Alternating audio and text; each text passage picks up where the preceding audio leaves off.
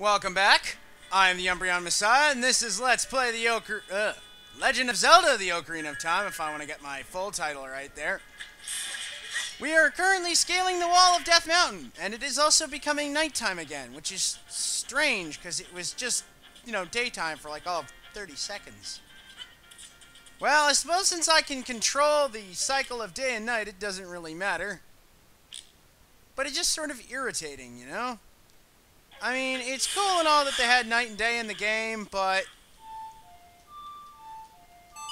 I much prefer the daytime. It has the music.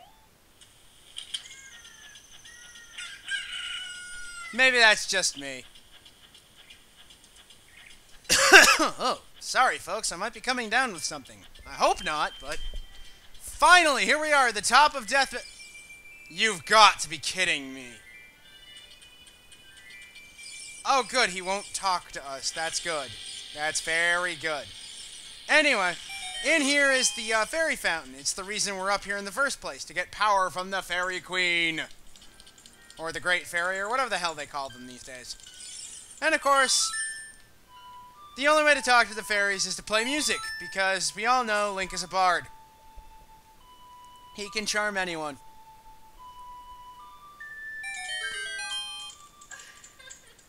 What the hell was that? Oh my god! What is that? And why am I so scared?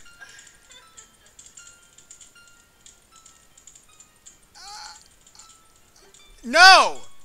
You are not a fairy! You are the complete opposite of fairy! You are something that should not be in a game for children! What are you doing here? Oh, please don't give me any... What the hell?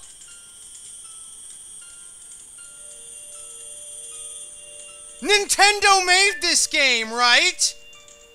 How did they get away with this? And why are her breasts so torpedo-shaped? The secret sword technique of spin attack! Actually, this gives us two things. One, it gives us the power to charge up our uh, whirling slash, but it also gives us a magic meter.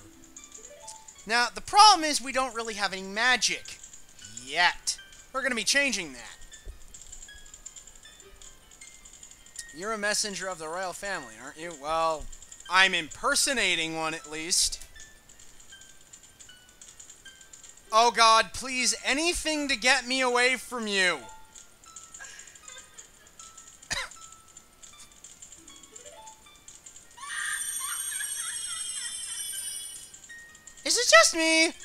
They sound like they should be the villains? Little Link should not have watched that. Anyway, no, I don't want to read you. I want to talk to the stupid owl. Yes, I know. It's crazy. I want to talk to this guy. Yeah, yeah, yeah. Shut up. I know. Basically, he's going to take us to the bottom of the mountain. And this really trippy flying sequence.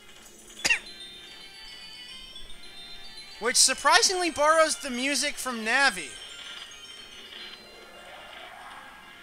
Oh my goodness! It's like riding a griffin and WoW. He has to take the scenic route. But oddly enough, he places us on top of this house. Which is a good thing for us because it allows me to drop down here, go inside here, and meet this cow with this piece of heart. Yay! And since we're in desperate need of milk... Wait a minute. I'm trying to remember how Epona's song goes here. Wow, I feel dumb.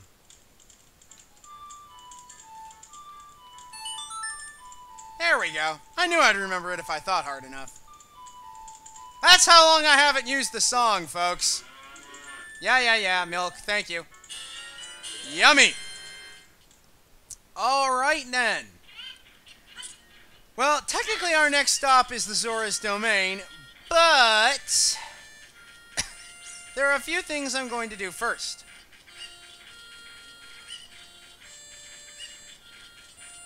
Well, namely, one of them is get out of this village. Actually, I think we've been... Uh, oh, no, wait. There's something I need to check on first. First, we're going to equip this shield again, because I don't really have a use for the other one.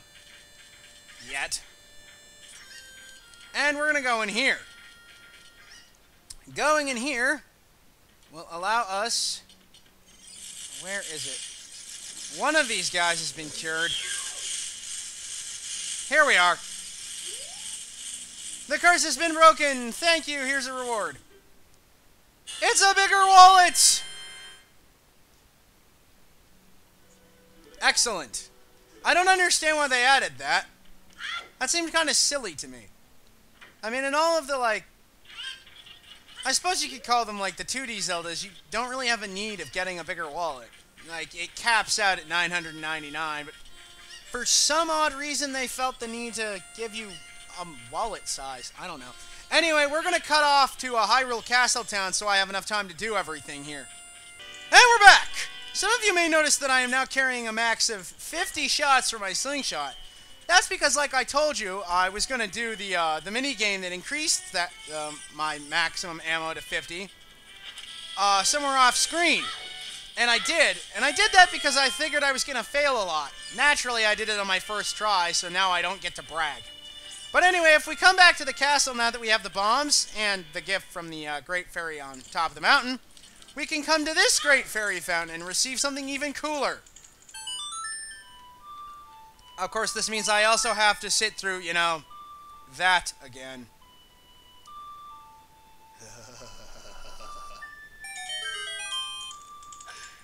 oh, God. What the hell? You look exactly like the other one! Okay, it's official. Link has a new stalker. A very sexy pixelated stalker, but... Where is that polygon? I, I have no idea.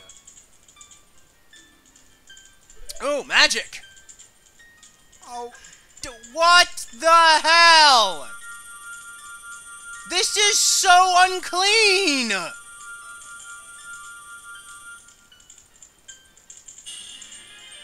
I get a crystal with a red fire inside. Oh, Din's fire! Ha ha ha! So it'll make me dance?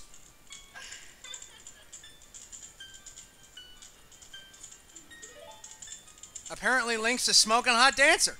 Huh.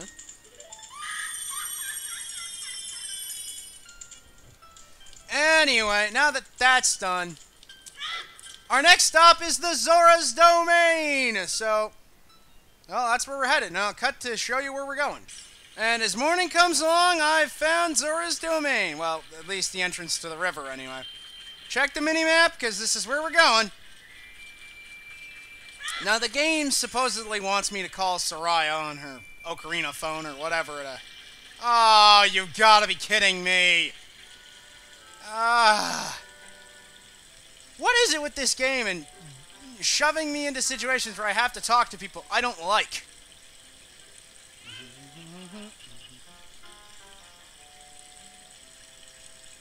Yes, thank you. I would never have been able to figure that out on my own. Well, I suppose that's a good hint if you've never played the game before. Hey, look what it is, folks. Ha! Give me that token! I picked up another one off screen, but I figured you people didn't really care that much, so... This isn't a... What the hell? How did that just not explode any of those? Well, this isn't a guide to pick up 100 gold Skulltulas, so... Interesting, if you can actually touch one of those butterflies with a, uh...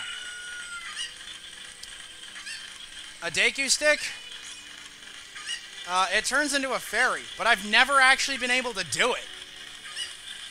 Oh god, it's Octoroks! Anyway, for some odd reason when Link... Hey, that's a piece of heart. For some odd reason when Link holds on to chickens, he can float.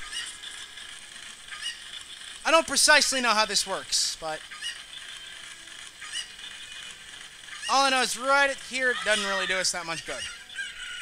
Oh god, please don't try and kill me. Now over here we have something fairly amusing. Some frogs are looking at you from underwater.